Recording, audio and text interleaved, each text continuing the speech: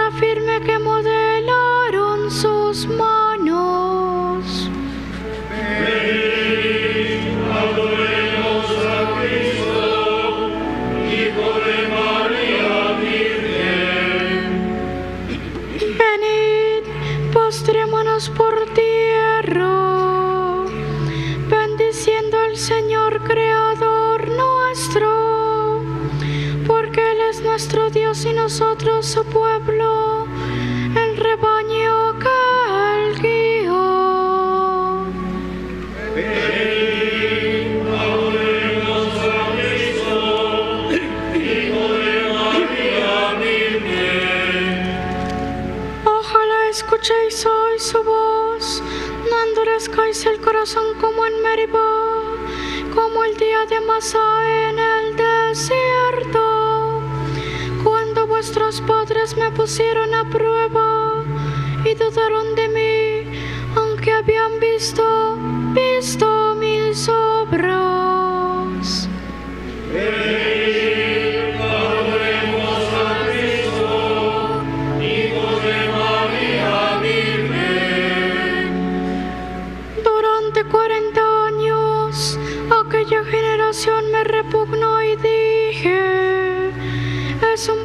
corazón extraviado.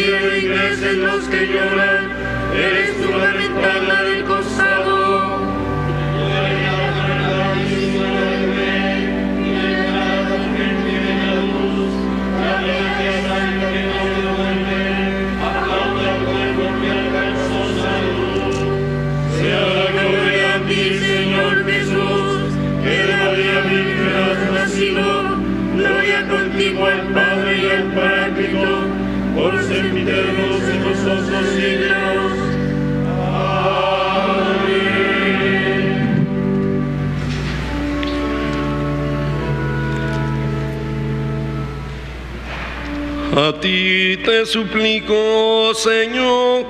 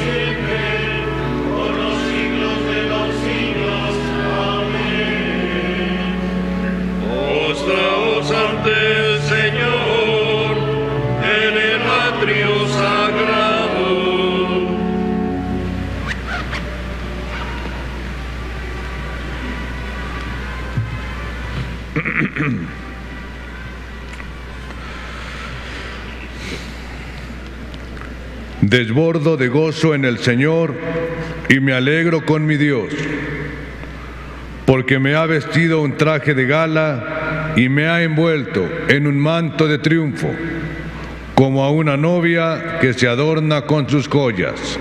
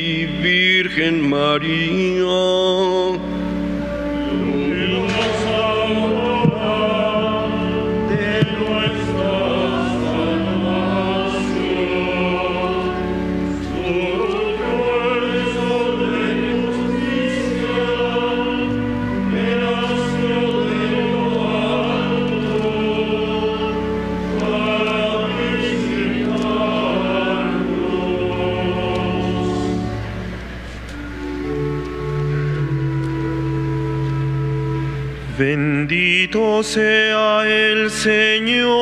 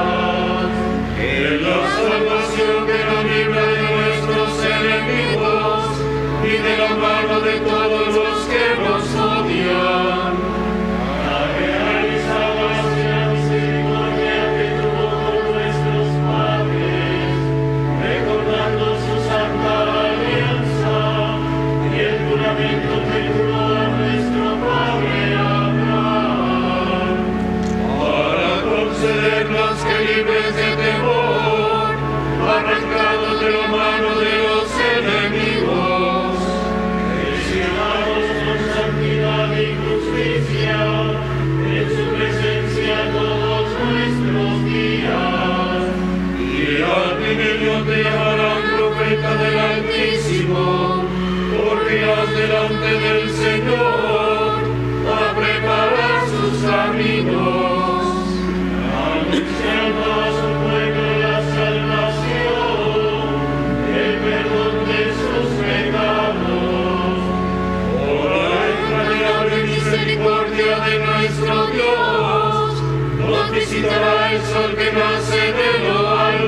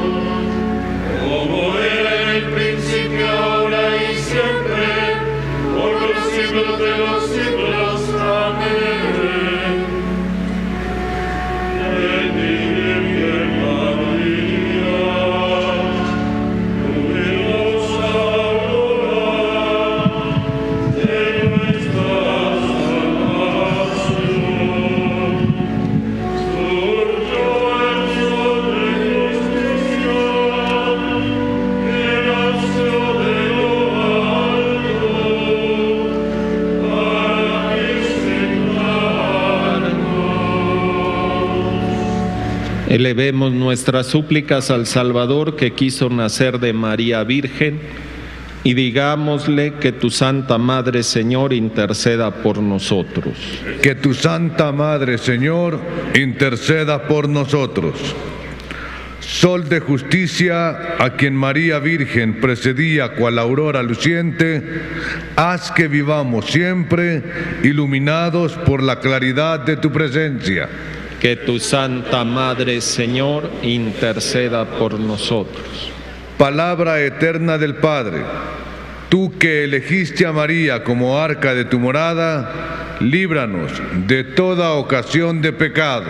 Que tu Santa Madre Señor interceda por nosotros. Salvador del mundo, que quisiste que tu madre estuviera junto a tu cruz, por su intercesión concédenos compartir con alegría tus padecimientos.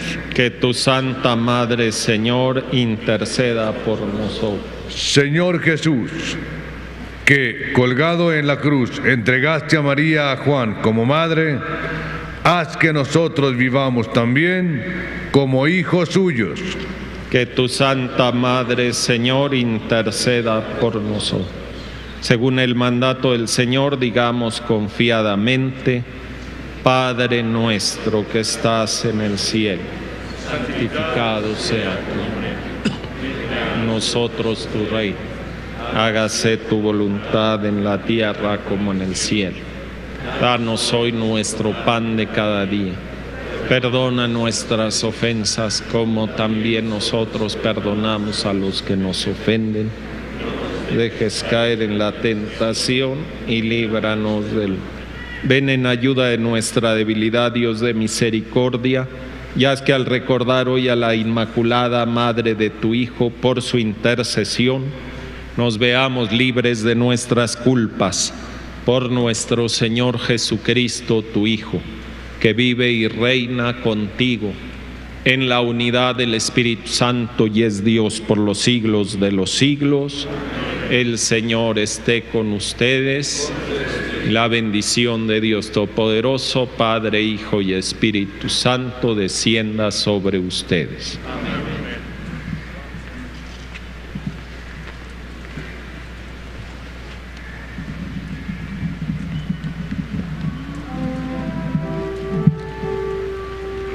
Salve, oh Reina. Madre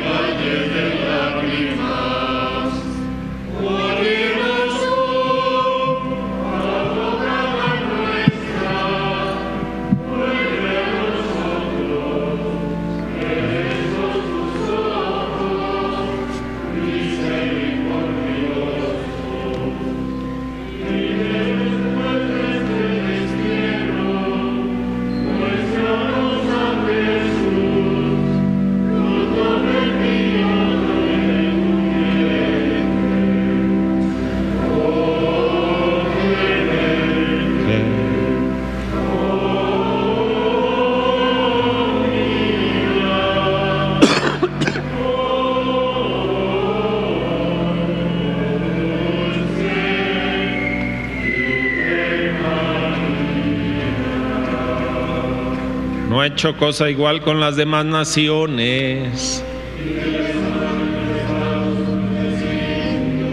Oremos, Padre de misericordia, que has puesto estos pueblos tuyos bajo la especial protección de la siempre Virgen María de Guadalupe, Madre de tu Hijo.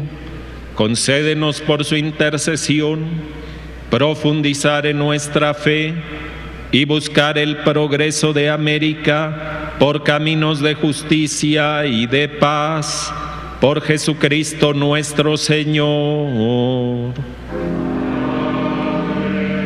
El auxilio divino permanezca siempre con nosotros.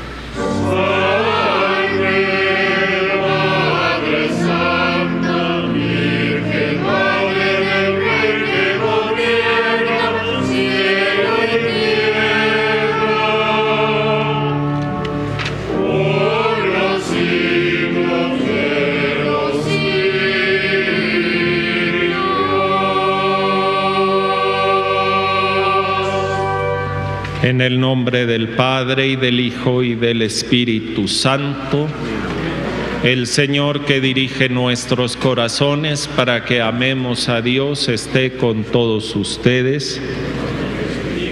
Recibimos a la peregrinación a pie de Santa Cecilia Tepetitlán. Pedimos por ustedes, por sus familias, sus intenciones, sus necesidades. Qué bueno que año con año se organizan para expresar su amor a la Santísima Virgen Santa María de Guadalupe y a su Hijo Jesucristo nuestro Señor. También pues cada uno de los sacerdotes tiene alguna de las intenciones que se han mandado decir en este santuario. Celebramos hoy a Nuestra Señora de Lourdes, una advocación mariana muy importante la vida de la iglesia.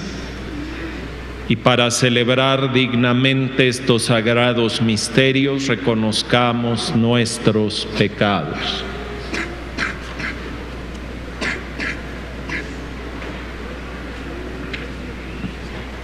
Señor, ten misericordia de nosotros.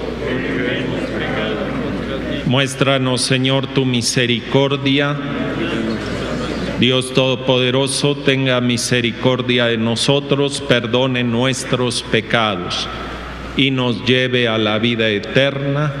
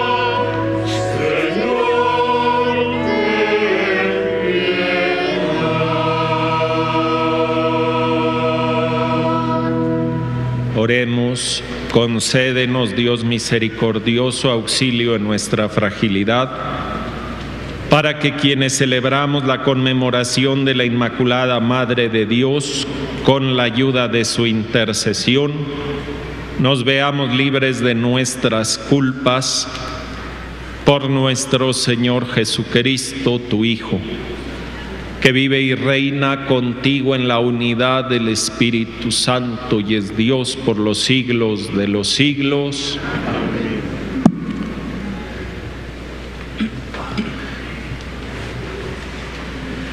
Del libro del Génesis. En el principio creó Dios el cielo y la tierra. La tierra era soledad y caos, y las tinieblas cubrían la faz del abismo. El Espíritu de Dios se movía sobre la superficie de las aguas. Dijo Dios, que exista la luz, y la luz existió. Vio Dios que la luz era buena, y separó la luz de las tinieblas. Llamó a la luz día, y a las tinieblas noche. Fue la tarde y la mañana del primer día. Dijo Dios, que haya una bóveda entre las aguas, que separe unas aguas de otras. E hizo Dios una bóveda y separó con ellas las aguas de arriba de las aguas de abajo. Y así fue. Llamó Dios a la bóveda cielo. Fue la tarde y la mañana del segundo día. Dijo Dios, que se junten las aguas de debajo del cielo en un solo lugar y que aparezca el suelo seco. Y así fue. Llamó Dios tierra al suelo seco y mar a la masa de las aguas. Y vio Dios que era bueno. Dijo Dios, verde la tierra con plantas que den semilla y árboles que den fruto y semilla según su especie sobre la tierra. Y así fue. brotó de la tierra hierba verde que producía semilla, según su especie, y árboles que daban fruto y llevaban semilla, según su especie. Y vio Dios que era bueno. Fue la tarde y la mañana del tercer día. Dijo Dios, que haya lumbreras en la bóveda del cielo, que separen el día de la noche, señalen las estaciones, los días y los años, y luzcan en la bóveda del cielo para iluminar la tierra. Y así fue. Hizo Dios las dos grandes lumbreras, la lumbrera mayor para regir el día y la menor para regir la noche. Y también hizo las estrellas. Dios puso las lumbreras en la bóveda del cielo para iluminar la tierra, para regir el día y la noche y separar la luz de las tinieblas. Y vio Dios que era bueno. Fue la tarde y la mañana del cuarto día. Palabra de Dios.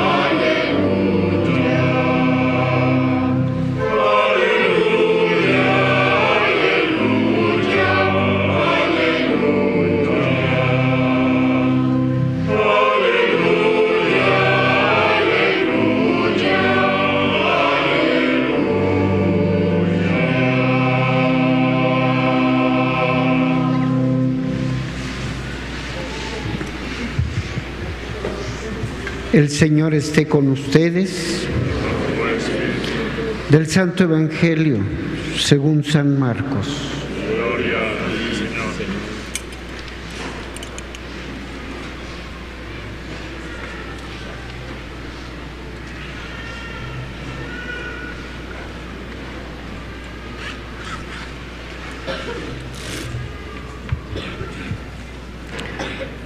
En aquel tiempo, Jesús y sus discípulos terminaron la travesía del lago y tocaron tierra en Genazaret.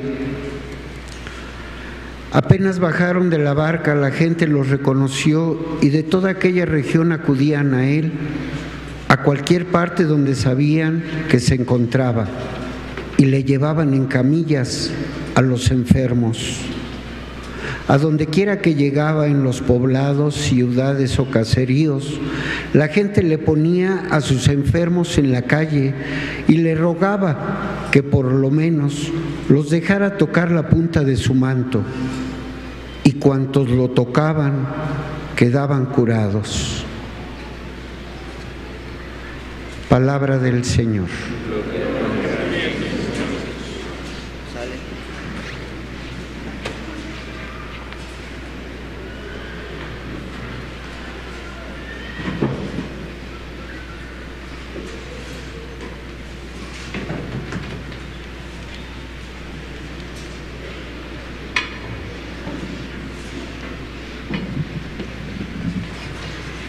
En esta Eucaristía también estamos dando gracias a Dios por el cumpleaños del diácono Francisco León, que el Señor lo bendiga y le conceda muchos años de vida al servicio de la Iglesia.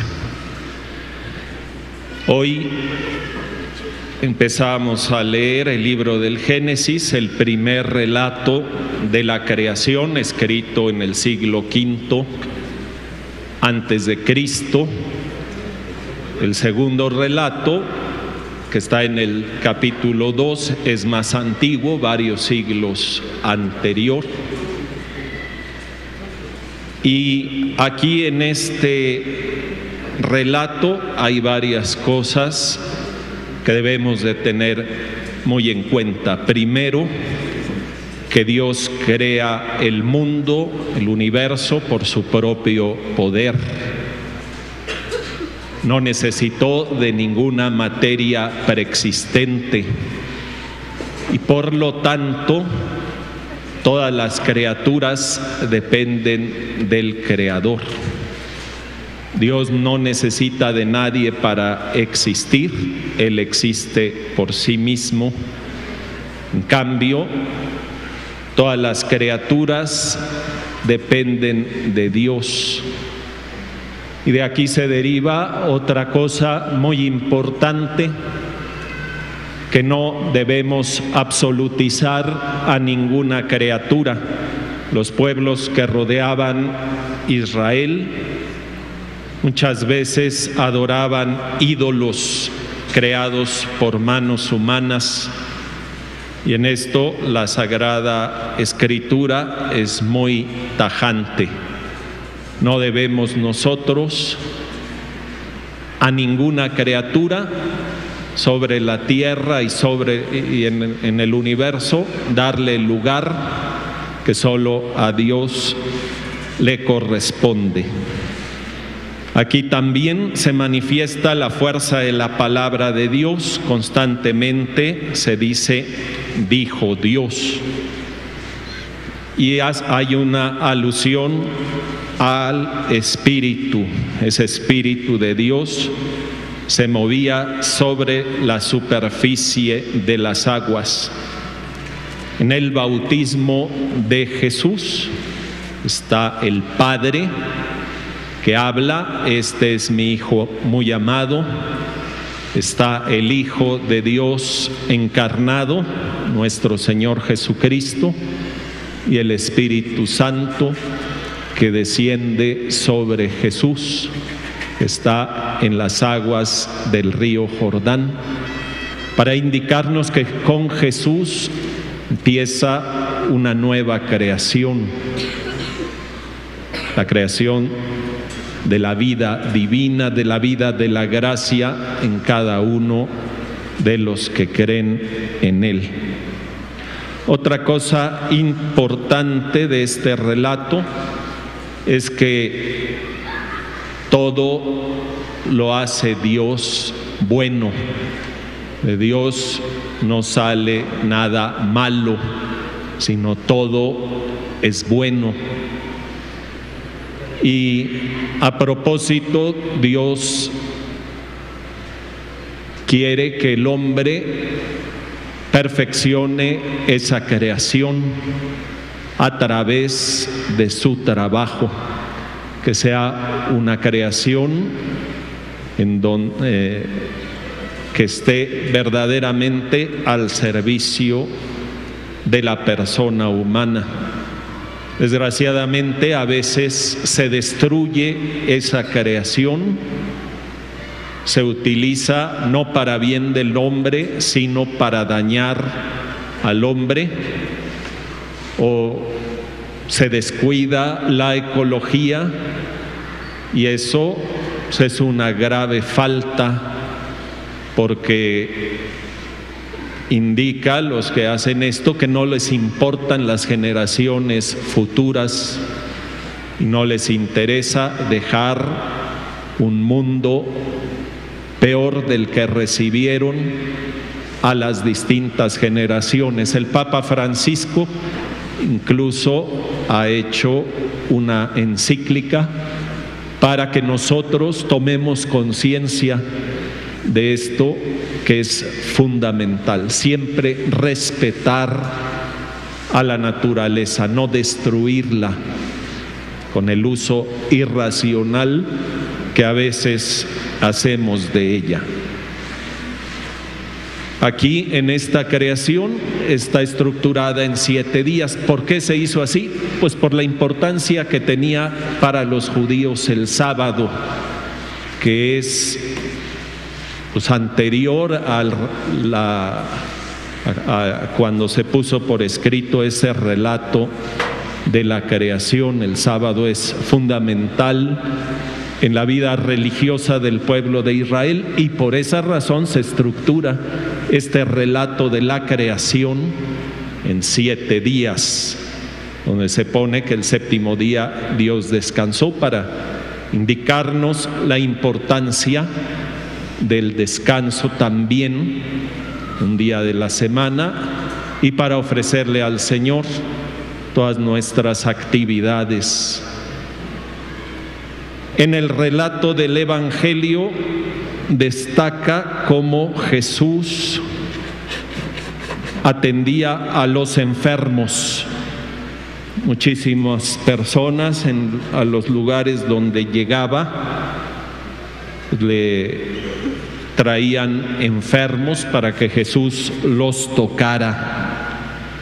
La gente que lo tocaba, dice aquí, quedaban curados.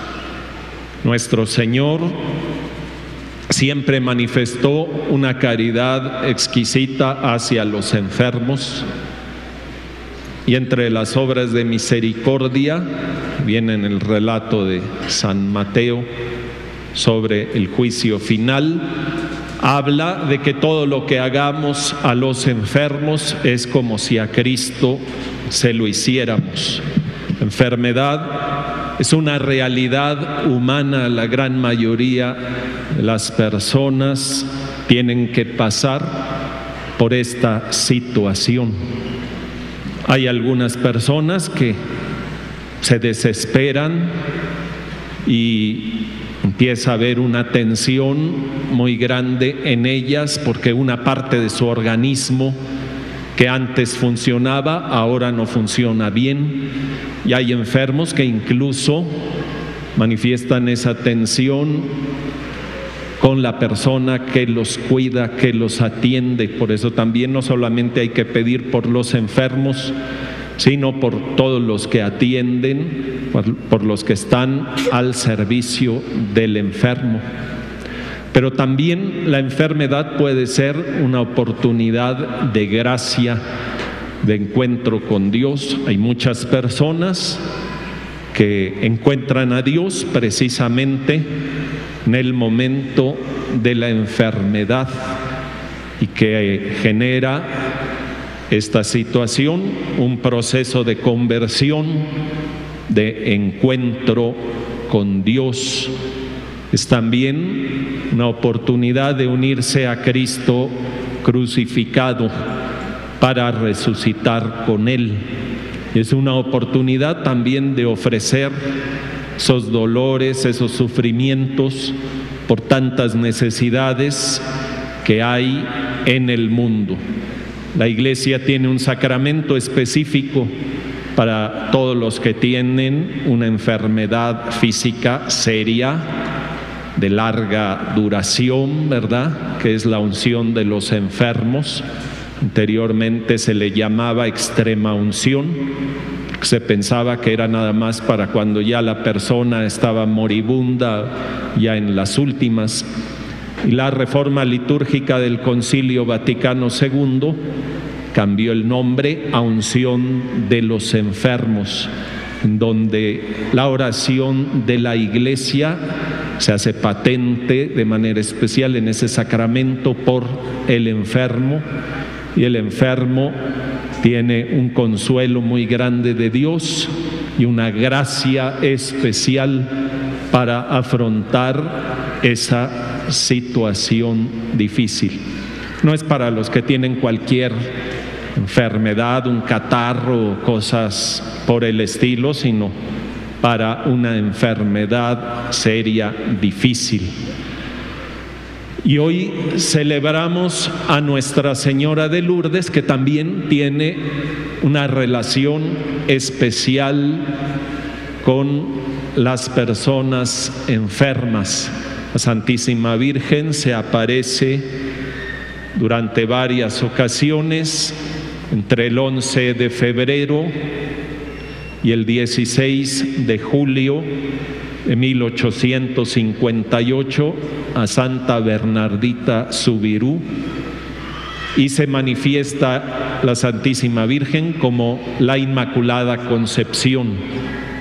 Cuatro años antes, el Papa Pío IX había declarado este dogma de la Inmaculada Concepción de la Santísima Virgen, o sea que ella fue preservada del pecado original y de todo pecado por los méritos de nuestro Señor Jesucristo, en virtud de que a ella se le aplicaron por adelantado estos méritos de Jesucristo nuestro Señor. María fue purísima durante toda su existencia.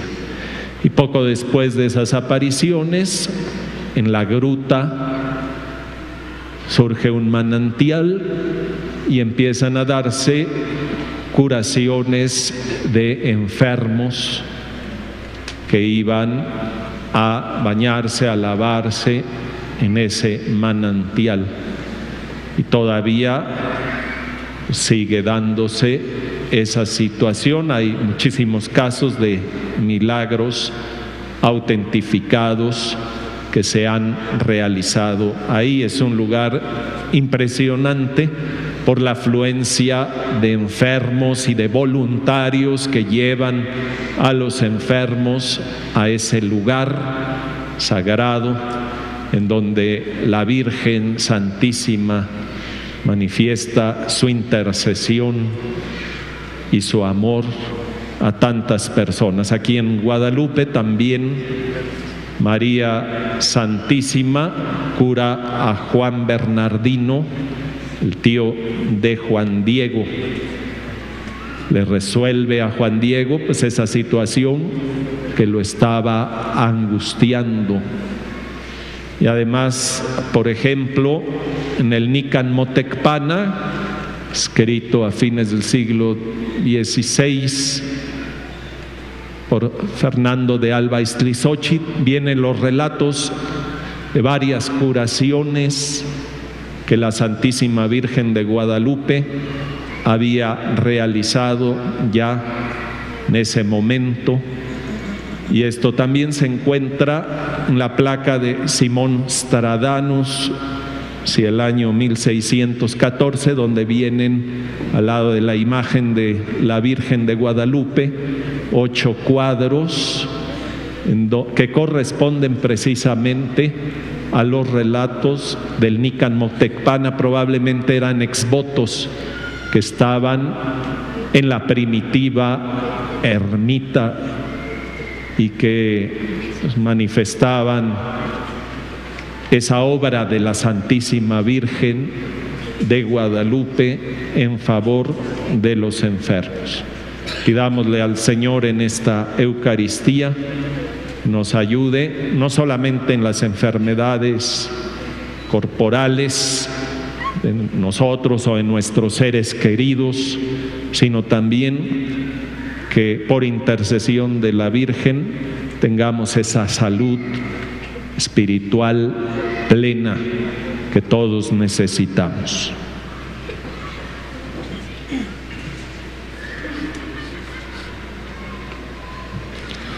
Hagamos nuestras, hermanos, las necesidades de todos los hombres y presentémoslas ante Dios. Y después de cada petición vamos a decir, danos Señor tu amor y escúchanos. Danos Señor tu amor y escúchanos para que los hijos de la iglesia crezcan en número y en santidad. Oremos. Danos, Señor, tu amor y escúchanos. Para que el Señor aumente la prudencia en los gobernantes. Oremos. Danos, Señor, tu amor y escúchanos. Para que Dios ayude a los que no tienen hogar y dé pan a los hambrientos. Oremos. para que el Señor proteja a nuestras familias. Oremos. Para que el Señor nos ayude durante este día a poner alegría donde hay tristeza y fe donde hay dudas. Oremos. Danos, Señor, tu amor y escúchanos. Para que la memoria de Nuestra Señora de Lourdes brille como signo de salud y esperanza para los enfermos que invocan su ayuda. Oremos. Danos, Señor, tu amor y escúchanos. Por nuestros hermanos peregrinos y su familia de Santa Cecilia Tepetitlán, oremos. Danos, Señor, tu amor y escúchanos. Por nuestro hermano el diácono Francisco León, para que por intercesión de Santa María de Guadalupe el Señor le conceda la salud física y espiritual y Él le siga dando gloria a Dios con su vida cotidiana, con su ministerio. Oremos. Danos, Señor, tu amor y escúchanos. Atiende, Señor, las súplicas que te hemos dirigido y dales pleno cumplimiento por Jesucristo nuestro Señor.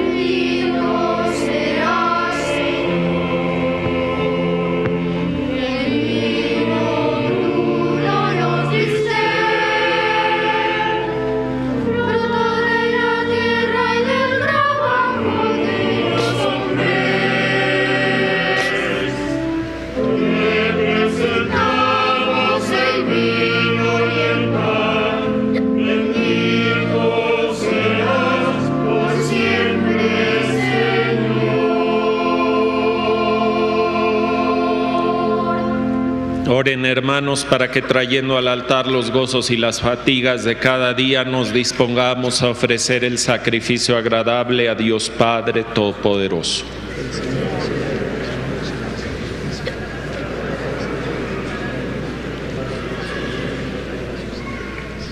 Recibe, Señor, las oraciones de tu pueblo junto con las ofrendas que te presentamos, para que por la intercesión de Santa María, Madre de tu Hijo, ningún buen propósito quede sin realizarse y ninguna de nuestras súplicas quede sin respuesta por Jesucristo nuestro Señor.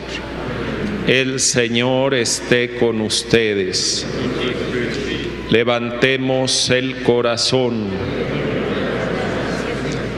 Demos gracias al Señor nuestro Dios. En verdad es justo darte gracias, Padre Santo, fuente de la vida y del gozo, porque en esta etapa final de la historia has querido revelarnos el misterio escondido desde siglos para que así el mundo entero retorne a la vida y recobre la esperanza. En Cristo nuevo Adán y en María nueva Eva se revela el misterio de tu iglesia como primicia de la humanidad redimida. Por este inefable don la creación entera con la fuerza del Espíritu Santo emprende de nuevo su camino hacia la Pascua eterna. Por eso nosotros, unidos a los ángeles y a los santos, cantamos a una voz el himno de tu gloria.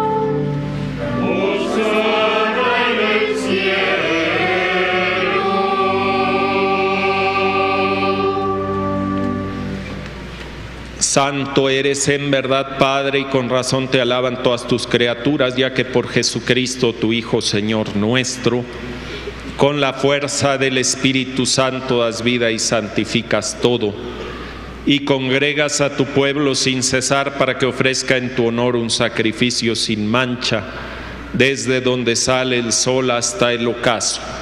Por eso, Padre, te suplicamos que santifiques por el mismo Espíritu estos dones que hemos separado para ti, de manera que se conviertan en el cuerpo y la sangre de Jesucristo, Hijo tuyo y Señor nuestro, que nos mandó celebrar estos misterios.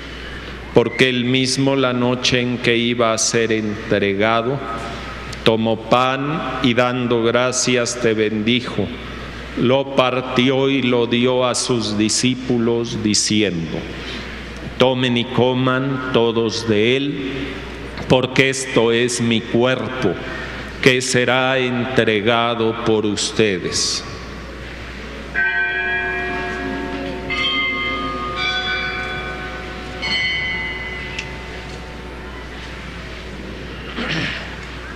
Del mismo modo, acabada la cena, tomó el cáliz, dando gracias, te bendijo y lo pasó a sus discípulos diciendo, tomen y beban todos de él, porque este es el cáliz de mi sangre, sangre de la alianza nueva y eterna, que será derramada por ustedes y por muchos para el perdón de los pecados.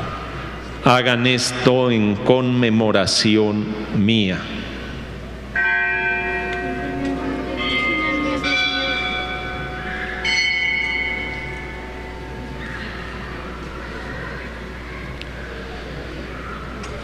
Este es el sacramento de nuestra fe.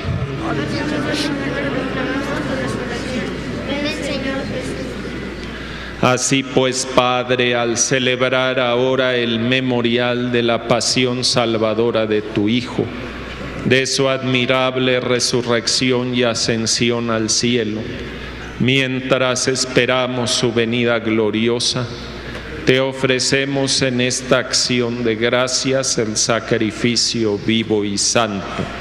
Dirige tu mirada sobre la ofrenda de tu iglesia y reconoce en ella la víctima por cuya inmolación quisiste devolvernos tu amistad, para que fortalecidos con el cuerpo y la sangre de tu Hijo y llenos de su Espíritu Santo, formemos en Cristo un solo cuerpo y un solo espíritu.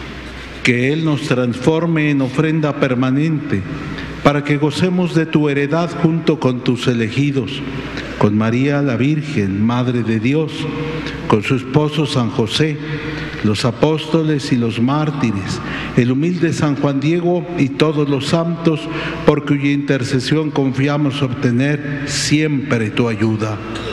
Te pedimos, Padre, que esta víctima de reconciliación traiga la paz y la salvación al mundo entero. Confirme en la fe y en la caridad a tu iglesia peregrina en la tierra a tu servidor el Papa Francisco, a nuestro arzobispo Carlos, al orden episcopal, a los presbíteros y diáconos y a todo el pueblo redimido por ti. Atiende los deseos y súplicas de esta familia que has congregado en tu presencia. Reúne en torno a ti, Padre misericordioso, a todos tus hijos dispersos por el mundo, a nuestros hermanos difuntos, y a cuantos murieron en tu amistad, recíbelos en tu reino, donde esperamos gozar todos juntos de la plenitud eterna de tu gloria. Por Cristo, Señor nuestro, por quien concedes al mundo todos los bienes. Por Cristo con Él y en Él, a ti Dios Padre Omnipotente, en la unidad del Espíritu Santo, todo honor y toda gloria por los siglos de los siglos.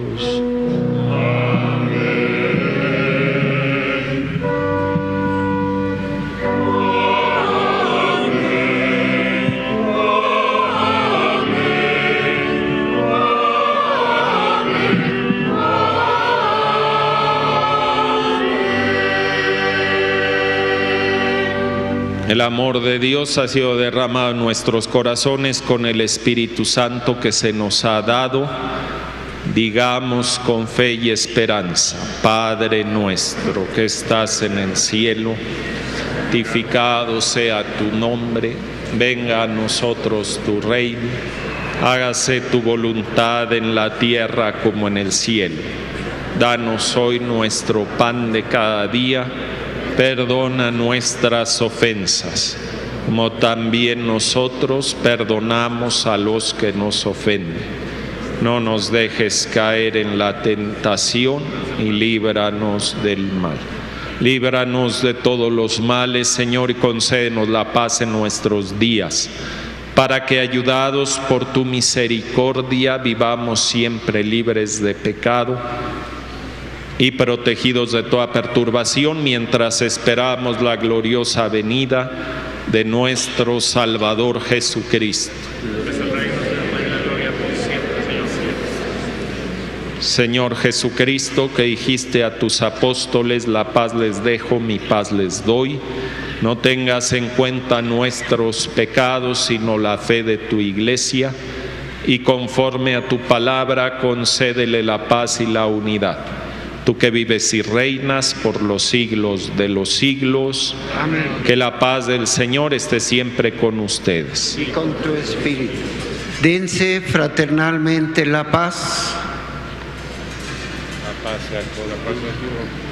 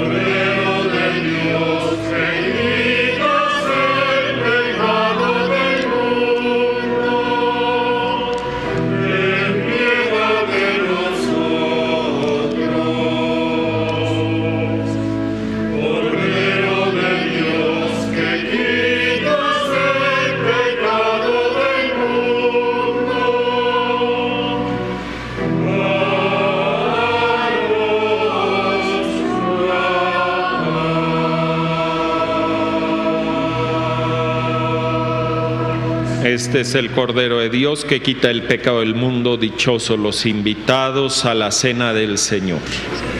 Señor, no soy digno de que entres en mi casa, pero una palabra tuya bastará para sanar.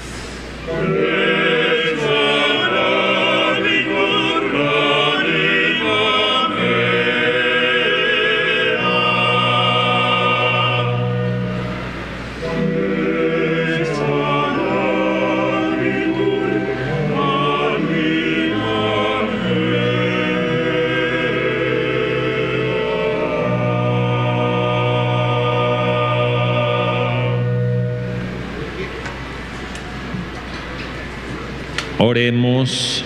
al recibir el sacramento celestial en la conmemoración de la Santísima Virgen María, te pedimos, Padre misericordioso, que a imitación suya nos concedas ponernos dignamente al servicio del misterio de nuestra redención. Por Jesucristo nuestro Señor. El Señor esté con ustedes. Voy a bendecir a los niños pequeños que sus padres traen para presentarlos ante la Virgen. Bendigo también sus objetos religiosos y los bendigo a todos ustedes aquí presentes. A cada invocación responden amén. Bendice Dios de la vida a estos niños que son tu imagen personal y concédeles con la ayuda de la Virgen de Guadalupe crecer en salud, alegría y amor. Bendice también estos objetos religiosos y las imágenes de Jesús, de la Virgen y de los santos para que nos recuerden siempre tu protección y tu bondad y la bendición de Dios Todopoderoso, Padre, Hijo y Espíritu Santo descienda sobre ustedes. Amén. Hermanos míos, de parte del Venerable Cabildo, como siempre, los días 12 de cada mes hay el Rosario del Amor Guadalupano. Mañana, día 12, los esperamos a las 7 de la noche en la explanada del Bautisterio para rezar este Rosario del Amor Guadalupano. Inviten por favor a sus familiares, a sus amigos, mañana a las 7 de la noche. Gracias. Glorifiquen al Señor con su vida. Pueden ir en paz. Demos gracias a Dios.